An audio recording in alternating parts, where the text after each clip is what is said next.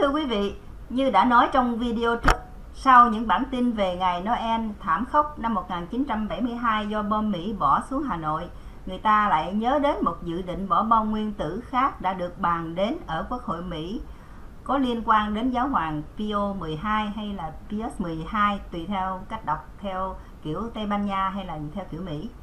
Trên à, diễn đàn thư tín à, của chúng tôi, bạn à, Bát Nhã Ba La Mật đã có trích dẫn một đoạn như sau của sử gia Avro Manhattan trong cuốn ờ, Việt Nam Why Did We Go? À, tức là Việt Nam tại sao chúng ta đến đó? Mà tác giả Nguyễn Minh Quang đã dịch ra như sau. Có thể bạn chưa biết Vatican từng vận động Mỹ ném bom nguyên tử xuống Việt Nam.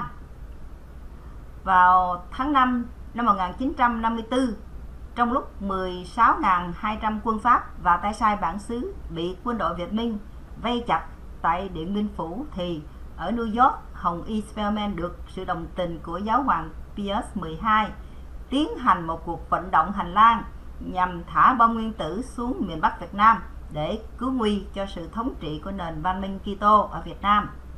Chính quyền Mỹ đã chuẩn bị kế hoạch thả từ 1 đến 6 quả bom nguyên tử cỡ 31 kiloton với sức công phá gấp 3 lần quả bom từng thả xuống thành phố Hiroshima, Nhật Bản trong Thế chiến thứ hai.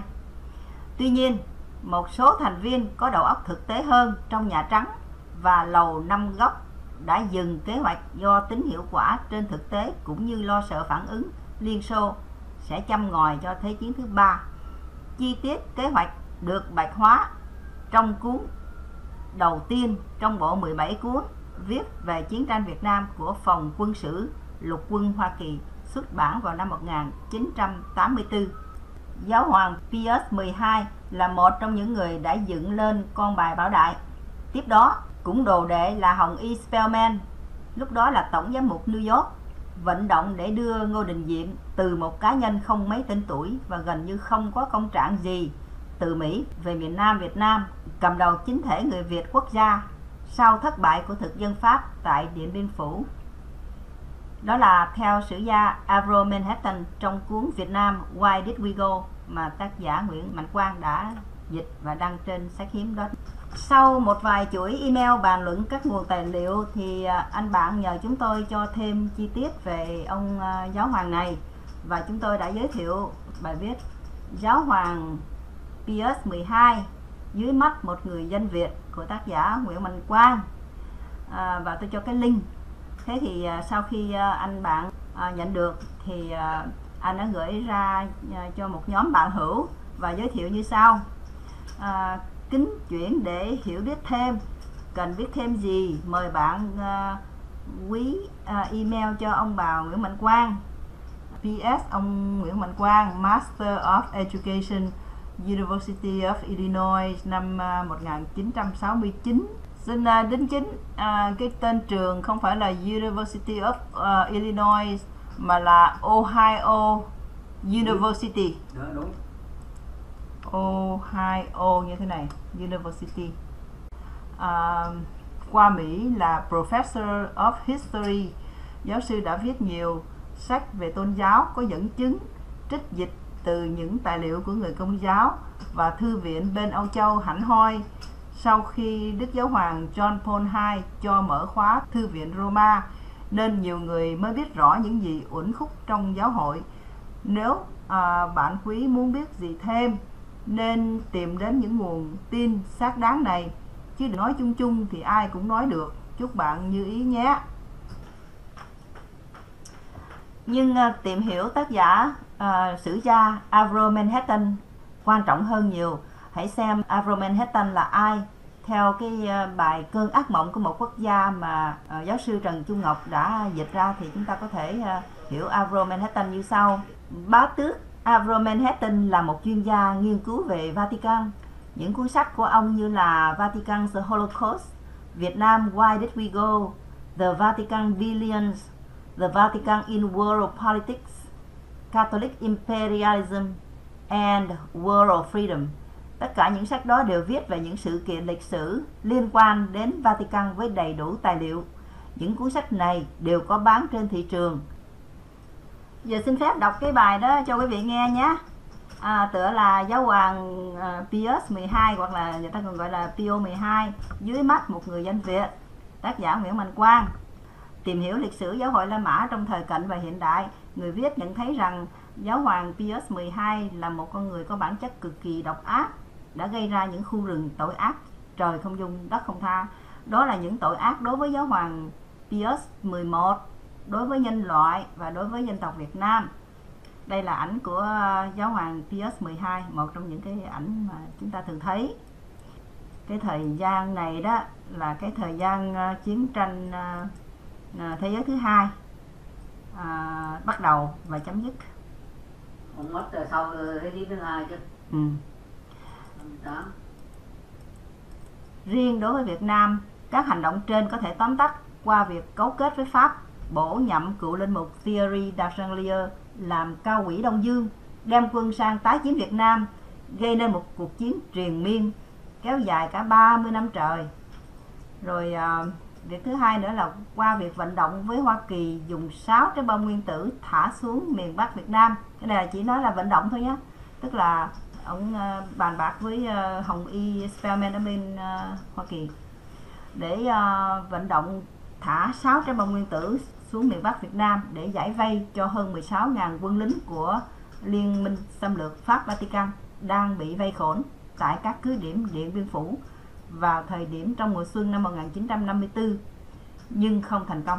Thì à, mới là chỉ là vận động thôi, mà nó không thành công, không có nghĩa là không có. Điểm thứ hai đó là đưa con chiên phản thần tam đại Việt Trang Ngô Đình Diệm về Việt Nam cầm quyền, khiến cho dân tộc Việt Nam rơi vào thảm họa, đất nước bị chia đôi và tàn phá với một số lượng bom đạn khổng lồ.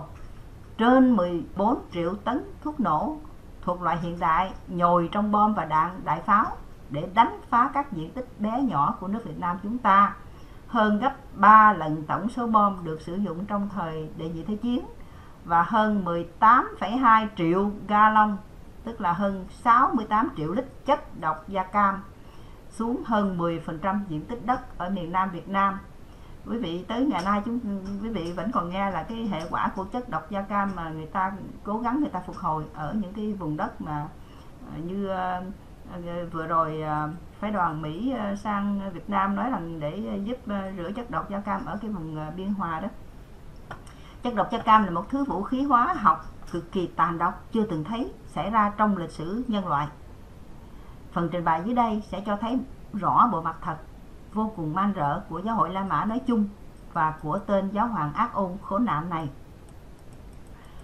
Trong thời đệ nhị thế chiến và sau đó, giáo hoàng Pius XII chủ trương cấu kết với Đức Quốc xã, phát xít ý đại lợi rồi lại cấu kết với Pháp, với Hoa Kỳ và cùng với các cường quốc đế quốc này gây ra những khu rừng tội ác cực kỳ khủng khiếp chống lại nhân loại. Trong đó có mưu đồ dùng bom nguyên tử để tàn phá đất nước và dân tộc Việt Nam chúng tôi. Như vậy, rõ ràng là giáo hội của Ngài Pius 12 là một tổ chức tội ác và giáo hoàng Pius 12 là một tên tội phạm chiến tranh độc ác nhất trong lịch sử thế giới trong thời cận và hiện đại. Phần trình bày dưới đây cho thấy rõ việc làm của giáo hội La Mã đối với nhân loại nói chung và đối với dân tộc Việt Nam nói riêng từ năm 1945 cho đến ngày nay. Xin chia làm hai phần thì cái phần A là nói về những tội ác chống nhân loại của giáo hoàng Pius 12 trong những năm ờ, 1939 đến 1945 chứ, tức là cái thời kỳ thế chiến thứ hai đó. Rồi cái phần B đó thì sẽ nói những rặng núi tội ác à, đối với dân tộc Việt Nam của giáo hội La Mã mà cái thời đại của à, ông này làm giáo hoàng. Rồi à, thay lời kết xin vào cái phần A ngay lập tức. Đó là những tội ác chống nhân loại của giáo hoàng Pius 12 trong những năm 1939 đến năm 1945. Với lòng tham không đáy, giáo hội La Mã tóm thâu cả thần quyền lẫn thế quyền vào trong tay, biến giáo hội thành ông chủ và thành tên bạo chúa trùm của tất cả bạo chúa trên thế giới. Vì quyền hành quá nhiều như vậy và vì các bản chất của chế độ toàn trị cho nên sách sử gọi chế độ chính trị của giáo hội La Mã là chế độ quân chủ tăng lữ chuyên chính à, cũng vì thế mà ở bất kỳ nơi đâu và ở bất kỳ lĩnh vực nào cũng có bàn tay tội ác của giáo hội ở đó tiến sĩ trần trung ngọc thường mượn lời của nguyễn trãi trong bài bình ngô đại cáo để mô tả tội ác của giáo hội La Mã chống lại nhân loại như sau. Quyết Đông Hải chi thủy, bất túc dĩ trạc kỳ ô, khánh Nam Sơn chi trúc, bất túc dĩ thư kỳ ác. Có nghĩa là dơ bẩn thay, nước bể đông không thể rửa sạch. Độc ác thay, trúc rừng không ghi hết tội. Nếu muốn nói cho hết những tội danh và tội ác do giáo hội đã gây ra thì trăm ngàn trang giấy cũng không thể nào nói hết. Vì giới hạn của bức thơ ngõ này, ở đây chúng tôi chỉ có thể kể ra một số tiêu biểu cũng đủ thấy bộ mặt thật của giáo hội La Mã gồm cả các thành phần tu sĩ áo đen ghê tởm đến mức nào. Đây là cái um, có những cái uh, tiểu mục nhỏ. Số 1 là chủ mưu và chủ động để lên ngôi giáo hoàng nhé. Rồi à, số 2 đó là ông cấu kết với Đức Quốc xã trong à, suốt thời đại nhị thế chiến nha. Rồi cái việc thứ ba là đồng mưu với Đức Quốc xã trong cái à, tội ác diệt chủng. Đó là ba cái việc chính yếu mà ông giáo hoàng đã làm đối với thế giới. Thì thứ nhất, chủ mưu và chủ động để lên ngôi giáo hoàng. Vào năm 1939 Hồng Y Pasali muốn lên ngôi giáo hoàng, cho nên ông ta đã âm mưu sát hại giáo hoàng Pius 11 à, khi ông này đang nằm điều trị trên giường bệnh hành động tội ác như vậy được sách The Vatican Exposed Money Murder and the Mafia ghi nhận như sau trong cuốn nhật ký của ông, Hồng Y Tisserand nói rằng ông nhớ lại là mặt của giáo hoàng Pius XI bị méo xẹo và thân hình ông ta có nhiều vết bầm màu xanh lơ. Tisserand còn nói rõ hơn nữa là những chỗ có vết bầm này được bao phủ bằng một lớp bột màu trắng để làm cho màu xanh ít xanh hơn. Hồng Y Tisserand đã thỉnh cầu giải phẫu để làm sáng tỏ vấn đề này nhưng thỉnh cầu của ông không được ai nghe cả. Hồng Y Pacelli ngay sau đó trở thành giáo hoàng Pius XII, người đảm nhiệm việc tang lễ và chôn cất, không cho phép và cương quyết từ chối những lời khẩn khoản thỉnh cầu của ông. Trong cuốn nhật ký này, Hồng Y Tisserand còn đưa ra một thông tin khác nữa bằng tiếng Pháp, bản địa của ông, làm cho mọi người sửng sốt Chúng nó đã ám sát giáo hoàng Pio 11. Theo Hồng Y Tisserand thì rõ ràng là nghi can là Hồng Y Pasali và bác sĩ Petacci. Đặc biệt là sau khi Hồng Y Tisserand khám phá ra rằng cô Claretta Petacci, một minh tinh màn ảnh, là con gái của bác sĩ Petacci và cũng là tình nhân sủng ái nhất của Mussolini. Hồng Y Tisserand cũng tin rằng Đức ông Umberto à, Benigni, thư ký riêng của Hồng Y Pacelli, cũng có liên hệ với âm mưu này. Hồng Y Tisserand nghi ngờ Đức ông Benigni là có cơ sở. Sau đệ nhị thế chiến, Đức ông Benigni bị phát hiện là viên chức của tổ chức mật vụ của chế độ phát xít Ý và thường xuyên báo cáo tình hình trong tòa thánh Vatican cho chính quyền Đức Quốc xã. Tội thứ hai Ông cấu kết với Đức Quốc xã trong suốt thời đệ nhị thế chiến 1934 1939 đến năm 1945. Tội ác này đã được các nhà viết sử khẳng định trong các tác phẩm của họ và đã được in thành sách cũng như đã được phổ biến trong internet. À, sách The Vatican Exposed Money, Murder and the Mafia của tác giả Paul Williams nói rõ trong phần Appendix C The Concordat Between the Holy See and the German Reich gồm 34 điều khoản và phần phụ lục nơi các trang 223, 224 và sách Hitler's Pope The Secret History of Pius 12 by John Cornwell. Đồng mưu tội thứ ba là đồng mưu với Đức Quốc xã trong tội ác diệt chủng. Ở đây có chia ra làm ba mục nhỏ. Thứ nhất là tàn sát khoảng 6 triệu người Do Thái. Số 4. Sắp xếp đưa tên con chiên cuồng tín Ante Pavelic lên nắm chính quyền ở Croatia năm 1941 để Kitô hóa nhân dân Croatia bằng bạo lực tàn sát 700.000 người gồm có chính thống giáo nè, Do Thái giáo nè và Hồi giáo nè trong một quốc gia vỏn vẹn chỉ có chưa tới 3 triệu người. À, điểm thứ ba là tổ chức đường dây bí mật để tẩu tán những số tiền và vàng khổng lồ của chính quyền Ante Pavelic. Khi chiến tranh chấm dứt, rồi bí mật đưa những tên tội ác chiến tranh trong chính quyền Croatia và một số trong chính quyền Đức Quốc xã đi ẩn náu ở Nam Mỹ Sự kiện này được sử gia Avro Manhattan kể lại như sau. Trong thời kỳ Croatia là quốc gia độc lập và lấy đạo Plato làm quốc giáo, có trên 700.000 đàn ông, đàn bà và trẻ em bị giết hại. Nhiều người bị hành hình, bị tra tấn, bị bỏ cho chết đói, bị thiêu sống cho đến chết. Hàng trăm người bị cưỡng bách phải theo đạo Cato, Thiên Chúa La Mã, tức là Kitô đó, mà ờ, Kitô La Mã. Các linh mục của giáo hội La Mã làm quản giáo tại các trại tù tập trung nhiều tu sĩ khác của giáo hội là sĩ quan trong các đơn vị quân đội đã phạm tội ác tàn bạo. 700.000 trong số, trong tổng số dân có mấy triệu người, tức là khoảng 1 phần 3 dân số bị các đoàn lính, dân quân Gia Tô giết hại. Ante Pavlik là người lãnh đạo mà cũng là người chủ mưu và tạo nên quốc gia Croatia độc lập. Theo đạo Gia Tô ông ta đã dùng chính sách khủng bố cũng như tinh thần cực đoan về chính trị và lòng cuồng đạo với tất cả những tàn bạo hơn cả hai nhà độc tài bảo trợ cho ông ta là Benito Mussolini và Adolf Hitler trước khi nước Nam Tư bị phân hóa. Ông ta là người chủ mưu trong vụ ám sát vua Alexander của nước Nam Tư và các vụ giết hại các nhà chính trị khác.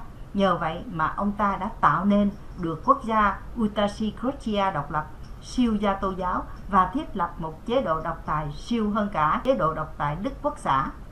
Ông ta được giáo hoàng Pius XII che chở và giúp đỡ bằng các phương tiện ngoại giao và tài chánh nhằm để đạt được cứu cánh của giáo hội La Mã.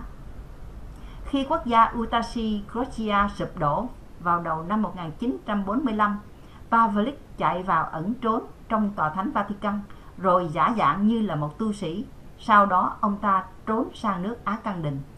Vấn đề này cũng đã được chúng tôi trình bày khá, chúng tôi đây là giáo sư Nguyễn Mạnh Quang, trình bày khá rõ ràng trong chương 11 sách thực chất của giáo hội La Mã.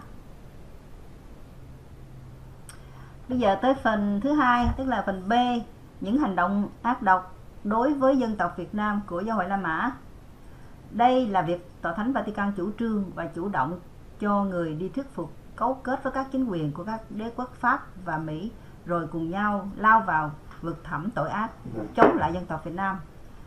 Nếu tính từ khi các giáo sĩ Cato đến Việt Nam truyền đạo vào năm 1533 để thi hành các điệp vụ thâu thập các tin tức tình báo chiến lược, chuẩn bị cho kế hoạch đánh chiếm Việt Nam, rồi can thiệp vào nội tình Việt Nam một cách vô cùng thô bạo từ cuối thế kỷ thứ 18 cho đến nay thì giáo hội La Mã đã gây ra cả hàng chục rặng núi tội ác chống lại dân tộc Việt Nam.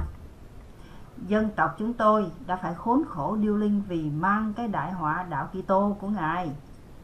Những hành động xâm chiếm nước tôi của giáo hội La Mã như vậy đã khiến cho đất nước chúng tôi phải lâm vào tình trạng chiến tranh triền miên từ năm 1847 kéo dài cho đến ngày 30 tháng 4 năm 1975 mới chính thức chấm dứt tức là kể từ thời điểm liên quân xâm lược Pháp, Vatican khai hỏa tấn công rồi cưỡng chiếm Việt Nam làm thuộc địa cho đến ngày 30 tháng 4 năm 75.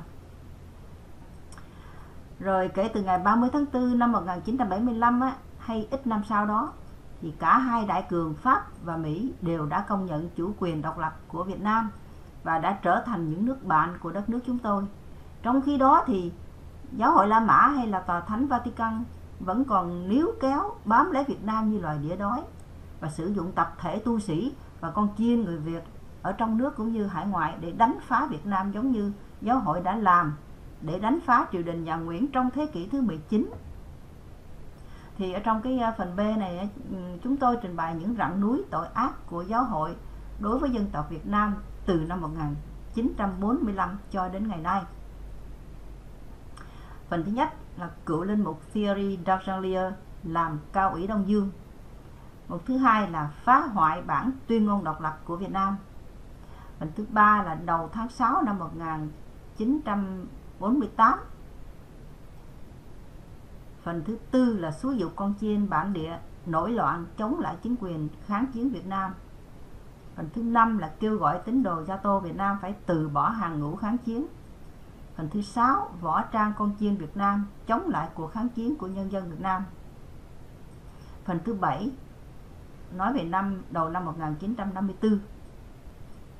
đó là sơ lược những cái uh, tiêu đề trong cái mục B bây giờ nói về cái mục ừ, đầu tiên là cựu linh mục thierry d'Argentlier làm cao ủy Đông Dương chúng ta cần biết cái ông này như thế nào đây tháng 8 năm 1945 giáo hoàng Pius 12 ở Việt Nam gọi là PO12 cấu kết với chính quyền Pháp của Tổng thống Charles de Gaulle trong việc bổ nhiệm cựu linh mục Thierry d'Argentlier làm cao ủy Đông Dương. Đây là ông uh, cựu linh mục Thierry d'Argentlier mà uh, những người viết sử cố gắng bỏ cái tông tích của ông là cựu linh mục ra. Thành ra chỉ nói là cao ủy Đông Dương thôi. Thì uh, cái việc bổ nhiệm cựu linh mục này để lôi cuốn tập thể con chiên người Việt đi theo Pháp chống lại chính quyền và quân đội kháng chiến Việt Nam dưới quyền lãnh đạo của mặt trận Việt Minh, cùng với việc gửi đoàn quân viễn chinh sang Viễn Đông lo việc tái chiếm Việt Nam, để rồi gây ra cuộc chiến và nhân dân Pháp, gọi là cuộc chiến bẩn thỉu, La Salle Guerre. Cuộc chiến này kéo dài tới giữa năm 1954 mới chấm dứt, khi 16.000 quân của Liên minh xâm lược Pháp Vatican bị thảm bại tại các cứ điểm Điện Biên Phủ và đầu hàng vô điều kiện vào lúc hơn 5 giờ chiều ngày 7 tháng 5 năm 1954. Tiêu đề thứ hai là phá hoại bản tuyên ngôn độc lập của Việt Nam. Ngày à, 28 tháng 12 1945, Việt Nam đã giành lại được chủ quyền độc lập từ trong tay người Nhật vào ngày 19 tháng 8 năm 1945 và cụ Hồ Chí Minh, Chủ tịch Chính phủ lâm thời của nước Việt Nam độc lập đã long trọng công bố bản tuyên ngôn độc lập cho cả thế giới cùng biết ngày 2 tháng 9 năm 1945. Ấy thế mà ngày 28 tháng 12 năm 1945 không cần biết đến chủ quyền độc lập của dân tộc Việt Nam chúng tôi. Tòa Thánh Vatican ra lệnh cho viên khâm sứ đại diện Tòa Thánh Vatican tại Huế là Tổng giám mục Anthony Trappier đề nghị với Pháp dùng cựu Hoàng Bảo Đại, ông này đã thoái vị vào ngày 23 tháng 8 năm 1945, thành lập chính phủ bù nhìn, làm bung sung cho liên minh xâm lược Pháp Vatican thi hành chính sách chia để trị, xé nước Việt Nam ra nhiều mảnh vụn theo biên giới địa phương về địa lý, về sắc tộc và đặc biệt về tôn giáo, rồi dùng người Việt đánh người Việt và đưa con chiên Kitô cuồng tính lên nắm chính quyền để thi hành kế hoạch Kitô hóa nhân dân Việt Nam bằng bạo lực từ trên xuống dưới. Sự kiện này được sách sử ghi nhận như sau. Ngày 28 tháng 12 1945, Huế, Tổng giám mục Anthony Trappier, đại diện Roma, tuyên bố gia đình Bảo Đại là gia đình thân pháp bậc nhất trong dân chúng Việt Nam. Và theo ý ông ta nên cho Bảo Đại lên ngôi như trước ngày 9 tháng 3 năm 1945. Trappier cũng đưa ra giải pháp là có thể sau đó sẽ cho Bảo Long lên kế vị và Nam Phương là giám quốc. Tiểu mục thứ ba đầu tháng 6 năm 1948. Chuyện gì xảy ra đây? Đề nghị trên đây của Vatican được thực dân xâm lược Pháp chấp thuận. Bảo Đại được, đưa lên thành lập chính quyền mà bộ máy tuyên truyền của Vatican gọi là chính quyền quốc gia để làm bung sung cho Pháp và Vatican tiến hành chính sách chia để trị như đã nói ở trên. Vì không có đủ nhân sự tham gia cái chính phủ Việt Nam Manớp này, Pháp biến chính phủ Nam Kỳ quốc của bọn Việt Giang mang quốc tịch Pháp Nguyễn Văn Xuân, Nguyễn Văn Tâm, Trần Văn Hữu, Nguyễn Khắc Vệ kéo thêm mấy tên Việt Giang khét tiếng như con chiên Phan Văn Giáo ở miền Trung và Vũ Quý Mão ở miền Bắc vào cái chính quyền Việt Giang phản quốc này. Để có thể làm cho chính sách chia rẽ được hữu hiệu bộ máy tuyên truyền của Vatican liền làm những bước tiến sau. Chữ A chế ra cụm từ chính quyền quốc gia được dùng như một chiếc áo choàng khoác lên cái chính phủ Việt Nam này với bảo đại làm quốc trưởng thay vì gọi là vua, ngồi ở hậu trường nhận lệnh của Vatican và của Pháp, rồi truyền xuống cho nội các chính phủ có trụ sở ở Sài Gòn, gồm toàn những bọn Việt Gian bán nước cho Pháp và Vatican thi hành. Mục B. Chế ra cụm từ chính nghĩa quốc gia làm bức bình phong, che đậy cho các bản chất phản quốc bán nước cho liên minh xâm lược Pháp Vatican của cái chính quyền Việt Nam Manớp trên đây và những hậu duệ của nó sau này mà Vatican đã dự trù. C. Chế ra các cụm từ người Việt quốc gia, người Việt quốc gia chân chính để làm cái áo choàng khoác lên những tên Việt gian phản quốc trong cái chính quyền phản quốc và bọn lính đánh thuê cho liên minh xâm lược Pháp Vatican lúc bấy giờ. Kể từ đó, những tên con chiên người Việt vốn là những tên phản quốc truyền tử lưu tôn đã từng bán nước cho Vatican từ hậu bán thế kỷ 16 và bán nước cho liên minh xâm lược Pháp Vatican từ giữa thế kỷ thứ 19 như các con chiên Trần Bá Lập, Lê Hoan, Ngô Định Khả, Trần Lục, Nguyễn Bá Tòng, Nguyễn Hữu Bài, Ngô Đình Khôi, Ngô Đình Thục, Ngô Đình Diệm, Phan Văn Giáo, Lê Hữu Từ, Phạm Ngọc Chi, Mai Ngọc Khuê đều trở thành những người Việt quốc gia chân chính trong mặt chiến đấu cho chính nghĩa quốc gia tốt lốt. Mục D chế ra lá cờ vàng ba sọc đỏ hàm chứa ý nghĩa của Chúa Ba Ngôi làm biểu tượng cho các chế độ đạo Việt Cato, màu vàng tượng trưng cho hoàng gia nhà Nguyễn mà Vatican đã chủ ý đưa con chiên Bảo Long lên làm vua như đã nói trên và ba sọc đỏ là tượng trưng ý nghĩa Chúa Ba Ngôi trong chế độ Vatican dựng nên. Sự xuất hiện lá cờ vàng ba sọc đỏ đã được chúng tôi trình bày khá đầy đủ với nhiều tài liệu trích dẫn trong chương 4 với tựa đề là ý nghĩa thực sự của lá cờ vàng ba sọc đỏ, sách chân dung người Việt quốc gia và lá cờ vàng ba sọc đỏ. Đó là chủ trương của giáo hội La Mã thi hành chính sách chia rẽ dân tộc Việt Nam trong những năm 1945 cho đến năm 1954. Nói về chính sách thâm độc và giả ma này, cái hội thánh duy nhất thánh thiện công giáo và tông truyền trong ngoặc khốn nạn này, sách Vatican thú tội và xin lỗi trong ngoặc viết trọng tội của giáo hội La Mã không phải là nguồn phúc lộc bình an như thế. Ngược lại, và riêng Việt Nam, giáo hội chống phá đạo hiếu nè, phế bỏ bàn thờ tổ tiên nè, trà đạp văn hiến dân tộc Đại Việt nè, gọi tôn giáo bản địa là thờ bục thần ma quỷ nè. Giáo hội chia hai dân tộc Việt Nam là dân có đạo, là dân riêng của giáo hội và dân vô đạo là dân ngoại theo tà thần, tạo dựng thành kiến kỳ thị rất sâu đậm và thô bạo. Đức Hồng Y Hà Nội Phạm Đình Tụng xác minh trọng tội này của giáo hội trong bài tham luận đọc tại Roma vào năm 1998. Có Đức Giáo Hoàng Đương Kim John Paul II ngồi dự thính. Đương Kim này là tử vì hồi lúc cái người viết viết vào cái thời John Paul II. Đến đây chúng tôi xin tạm ngưng vì cũng đã khá dài. À, xin mời quý vị nghe đọc tiếp cái mục 4 vào cái video tới. Kính chào quý vị khán thính giả.